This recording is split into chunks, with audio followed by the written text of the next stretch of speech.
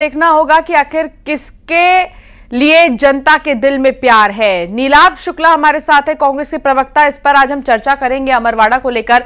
थोड़ी देर में शिवम शुक्ला हमारे साथ जुड़ेंगे बीजेपी के प्रवक्ता और संदीप पौराणिक हमारे साथ वरिष्ठ पत्रकार के तौर पर जुड़ेंगे।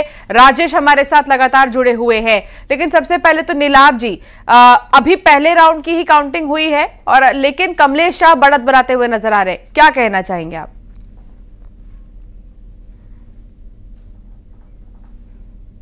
अभी तो बहुत पूरा दिन बाकी है और काफ़ी हाँ। देखिए पूरा पूरा माहौल कांग्रेस के पक्ष में कमलेश शाह ने जिस तरह वहाँ के लोगों के मत का अपमान करके चुनाव को उपचुनाव में जनता को वापस झोंका है। जबकि ज़रूरत नहीं थी लेकिन अपने लाभ के लिए उन्होंने अपनी पार्टी को मात्र सस्ता को धोखा देकर जो उपचुनाव जनता को करा जनता में आक्रोश है लेकिन शुरुआती आंकड़े आए अभी रुझान इससे स्पष्ट नहीं होता। पूरा माहौल कांग्रेस के पक्ष में उसकी वजह मैं बताता हूँ आपको जो मतदान भी दस प्रतिशत कम हुआ है उसकी वजह की जनता में आक्रोश है। कमलेश शाह जी को लेकर वर्तमान भारतीय जनता पार्टी की सरकार को लेकर कि छह महीने जो झूठे बड़े बड़े वादे इन्होंने किए थे बातों की झड़ी लगा दी शिवराज जी चौहान जी का चेहरा दिखाते हुए लेकिन वो वादे कुछ भी पूरे नहीं हुए। और एकदम से चेहरे तो शिवराज जी का चेहरा परिदृश्य से हटा दिया गया गायब कर दिया गया। तो छह महीने कार्यकाल में कर्ज करप्शन और क्राइम ये चरम पर हुआ। है तो जनता समझ रही किस तरह ठगा गया है किसान ठगाया है युवा ठगाया है महिलाएँ ठगाई है छात्र ठगाए सबको लगा किस तरह हमें भ्रमित करके झूठे वादे करके थोते वादे करके जनता को ठगा गया है ये छह महीने में सरकार के असलियत सामने आ गई है। तो जनता इसका जवाब देगी। जी ठीक है। शिवम शुक्ला भी साथ जुड़ गए। मैं एक कमेंट उनसे भी ले लेती हूँ दोबारा आपके पास आऊँगी। शिवम शुक्ला अभी मौजूदा समय में पहले राउंड की काउंटिंग हो गई है और कमलेश शाह बढ़त बनाते हुए नज़र आ रहे हैं। इस पर सबसे पहले आपका क्या कमेंट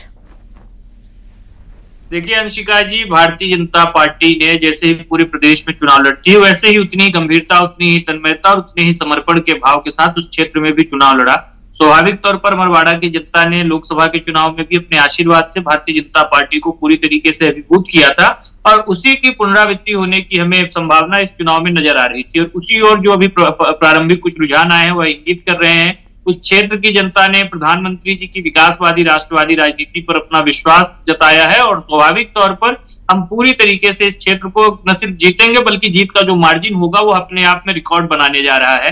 कांग्रेस पार्टी और कमलनाथ जी ने उस क्षेत्र तक लंबे समय तक राजनीति की वहाँ पर कमलनाथ जी के ऊपर उस क्षेत्र की जनता ने विश्वास किया।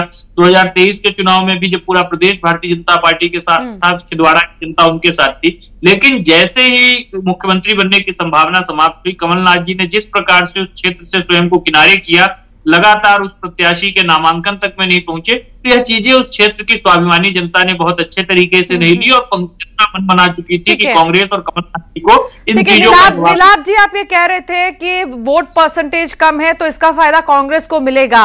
एक मार्जिन क्या आप लोगों ने सोच रखा है कि इतना मार्जिन से आप जीतेंगे या फिर आपको लगता है कि इतना तो डिफरेंस होगा ही? देखिए मैं कोई हवाई आंकड़े भारतीय जनता पार्टी के नेताओं तरह नहीं बताता मैं एक भारी बहुमत के साथ अच्छा खासा बहुमत क्या कहना चाहिए? भारी मतों के साथ भारी मतों के साथ हम वहाँ से विजय विजय श्री हमको जनता मात देगी। ये सबसे बड़ा कारण है कि जनता को चुनाव में उपचुनाव में जबरिया थोपा गया।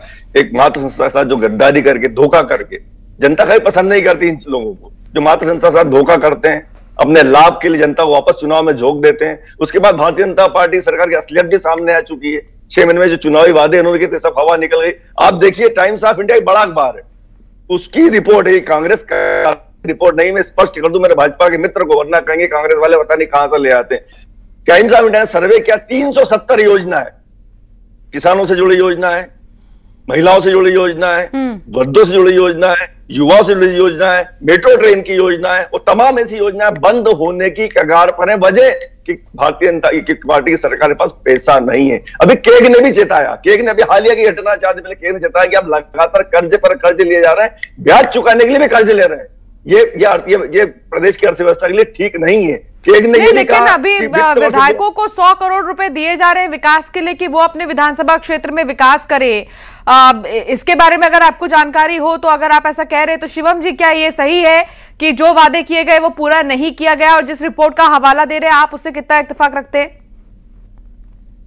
जी जो सबसे महत्वपूर्ण चीज़ है कांग्रेस जब इस प्रकार की बातें करती है तो इनको अपना कार्यकाल याद आ जाता है कि सरकार बनने से पहले तो दस दिन में कर्ज माफ़ी का वादा कर दिया सरकार में आने के बाद राश नहीं होने का रोना रोने लगे जबकि भारतीय जनता पार्टी की सरकार ने आज सरकार चलाते हुए लगभग हमको बीस साल हो गए इस दौरान एक भी ऐसा इंस्टेंस नहीं है जब हमने पैसे की कमी होने वजह से कोई योजना बंद की हो प्रदेश के विकास कार्य में कोई अवरोध उत्पन्न होने दिया हो मध्य प्रदेश में वर्तमान में जब सरकार हम्म। बनाने से पूर्व हमने छप्पन संकल्प पत्र में अपनी जो संकल्प है वो हम्म। प्रदेश की जनता के साथ मोदी जी की गारंटी के रूप में रखे थे उनमें से हम्म। लगभग 200 पर हम काम शुरू कर दिया छप्पन के आसपास हम पूर्ण कर लिए चाहे साइबर तहसील का विषय हो चाहे एक उड़ान शुरू करने की बात हो जो पर्यटन के क्षेत्र में भी काम कर रही है एयर एंबुलेंस चालू करने की बात हो मुख्यमंत्री जी ने जिस प्रकार से संवेदनशीलता दिखाते हुए प्रदेश भर में पीएम श्री एक्सीलेंस कॉलेज शुरू करने का एक महत्वाकांक्षी अभियान शुरू किया है पूर्व की हमारी सरकार की के बारे में यह लोग लगातार भ्रम फैलाते थे लाडली बहला ठीक है इस पर और चर्चा करेंगे इस पर और चर्चा करेंगे क्योंकि संदीप कौशिक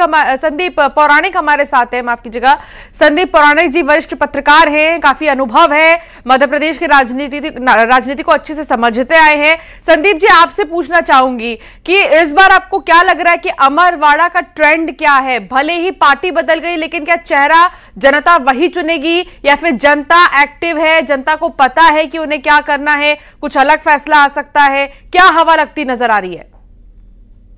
देखिए आप ये मानिए कि ये शुरुआती रुझान है जो आपके पास पहले चक्र की जो मतगणना हुई है फ़र्स्ट राउंड की वो नतीजे हमारे सामने आ रहे इसे रुझान मानेंगे क्योंकि इतनी बड़ी भी लीड नहीं है जिसे कवर ना किया जा सकते और ये भी संभावना है कि लीड बढ़ भी सकती है। हाँ। तो ये आने वाले समय में तय होगा। लेकिन जो महत्वपूर्ण बात है कि मध्य प्रदेश के अमरवाड़ा के चुनाव से ना तो सत्ता पे कोई फ़र्क पड़ने वाला है और ना ही कांग्रेस को कोई बहुत ज़्यादा फ़ायदा होने वाला है। लेकिन इसके राजनीतिक मायने बहुत होंगे। कारण उसका सबसे बड़ा यह है कि लोकसभा चुनाव के बाद ये पहला चुनाव है। दूसरी तरफ़ छिंदवाड़ा को कमलनाथ का गढ़ माना जाता है। लोकसभा में उनके पुत्र को हार का सामना करना पड़ा। अमरवाड़ा में भी कांग्रेस काफ़ी पिछड़ी थी लोकसभा में। विधानसभा के लगातार तीन चुनाव कमलेश शाह जीतते आ रहे हैं। अब ये चुनाव कमलेश शाह धीरन शाह का नहीं है। हाँ। ये चुनाव पूरी तरह कमलनाथ बनाम हम्म। मोहन यादव सरकार और बीजेपी का है। हम्म। क्योंकि ये राजनीतिक तौर पर जो ये माना जा रहा है कि ये एक ऐसा बैटल है या ऐसा युद्ध है राजनीति का जिससे आने वाले समय में छिंदवाड़ा में क्या होगा ये तय हो जाएगा। क्या अमरवाड़ा का चुनाव भी कांग्रेस हार जाएगी? और अगर कांग्रेस ये चुनाव हारती है तो क्या नाथ परिवार की राजनीतिक हैसियत हाँ। क्या बचेगी? इससे जुड़ा एक सवाल मैं अपने रिपोर्टर से करूँगी।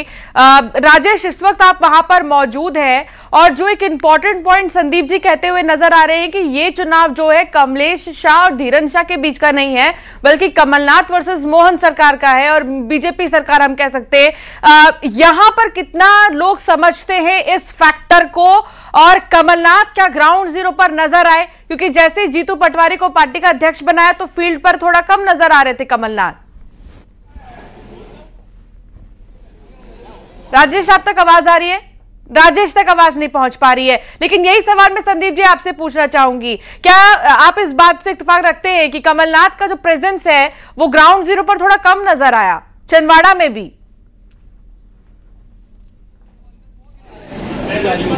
75 क्रॉस हो गई हो। उससे हम उतनी अपेक्षा करें कि युवा नेता की तरह वो सक्रिय हो तो वो नहीं दिखे। उनके पुत्र भी उतने नहीं लास्ट के तीन चार दिन लोगों ने सक्रियता दिखाई। हाँ। हम्म, और कुल मिलाकर के इस चुनाव को अगर आप देखें तो बीजेपी ने पूरी ताकत झोंक दी। चाहे प्रदेश अध्यक्ष वीडी शर्मा हो, चाहे मुख्यमंत्री मोहन यादव हैं, राज्य सरकार के मंत्रियों, पूरी ताकत उन्होंने अमरवाड़ा पे लगा दी थी। क्या कांग्रेस में ऐसी ताकत नज़र आई? उमंग सिंगार नेता प्रतिपक्ष के एक दो दौरे हुए, जीतू पटवारी कुछ गए, कमलनाथ के गिनती के दौरे हुए, नकुलनाथ के गिनती के दौरे हुए। क्या दिग्विजय सिंह वहाँ गए? तो मुझे लगता है कि कांग्रेस में अब भी बिखराव है। और वो चीज़ अलग-अलग के चुनाव में ये इस पर एक, एक सवाल ले लूँगी मैं। एक इस पर नि, नीलाभ जी से एक सवाल लूँगी। नीलाभ जी क्या ऐसा है? क्या सब कुछ ठीक है कांग्रेस में? प्रयास किए देखिए ये ये चुनाव आपने कहा कमलनाथ जी का और मोहन सिंह सिंह सरकार जी का ऐसा नहीं है। ये चुनाव है। जनता वर्सेस भारतीय जनता पार्टी की सरकार जो झूठे थोते वादे करके चुनाव सत्ता में आई है उन वादों की पोल खुल गई है। ये चुनाव उनका है। जनता जवाब देगी। ये चुनाव उनका है जिनने मात्र संस्था को धोखा देकर, जनता के मत का अपमान कर उपचुनाव में जनता को वापस झोंका, ये चुनाव उनका है। तो जनता जवाब देगी। निश्चित रूप से जनता उन लोगों को पसंद नहीं करती जो अपनी मात्र संस्था को धोखा देते जनता इनको मत देकर विधायक बनाती है। वो अपने लाभ के लिए, लालच के लिए पद को छोड़ देते हैं, जनता के मत का अपमान कर देते हैं और दूसरी पार्टी ज्वाइन कर लेते हैं। तो निश्चित रूप से जनता इसका जवाब देगी पूरे माहौल कांग्रेस के पक्ष में और देखिए अप्रत्याशित परिणाम आएँगे इस उपचुनाव की बात नहीं कर रहा हूँ। जितने भी उपचुनाव होने वाले हैं सब में पूरा माहौल कांग्रेस के पक्ष में क्योंकि ये सरकार की कुल छह महीने में ही पोल खुल गई है। ए, आ, क्या वाकई में जो कमलेश शाह हैं उनको आगे आप देखेंगे कि हाँ धीरे धीरे वो अब आगे बढ़ते हुए नज़र आएँगे। उस तरह का परफॉर्मेंस इससे इतफाक रखते हैं? देखा गया अमरवाड़ा में? इससे कोई रिज़ल्ट मालूम नहीं पड़ता। देखिए इसके बाद जब लगातार पूरा दिन बचा हुआ पूरा मैंने कहा ना पूरा माहौल कांग्रेस के पक्ष में। हम ग्राउंड रिपोर्ट आपको बता रहे हैं चीज़ें। जनता में बहुत आक्रोश है इस चीज़ को लेकर। सरकार को लेकर ठीक है नीलाम जी मैं शिवम शिवम शिवम जी से एक सवाल लेना चाहूँगी।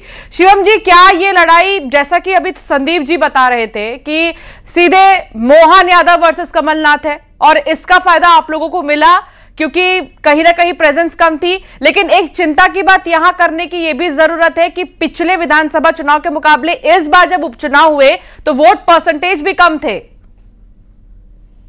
जी वोट परसेंटेज का जहाँ तक विषय है जब पूरे प्रदेश में चुनाव होते हैं तो उस दिन अधिकतर स्थलों पर छुट्टी रहती है। उस क्षेत्र के रहवासी जो बाहर भी निवास रहते हम्म। हैं वह भी जाते हैं अपने यहाँ मताधिकार का प्रयोग करते लेकिन उपचुनाव में ऐसी कोई स्थिति रहती नहीं है तो स्वाभाविक तौर पर थोड़ा बहुत वोट परसेंटेज में आमतौर पर एक अंतर देखा जाता है। लेकिन हम्म। बृहत्तर तौर क्षेत्र की जनता ने मुख्यमंत्री मोहन यादव जी और उनकी सरकार की जो नीतियाँ हैं जिस प्रकार से ठीक है मैं दोबारा से आपके पास आऊँगी। एक बड़ी खबर आ रही है आज। सीएम विष्णुदेव साय अपनी कैबिनेट के साथ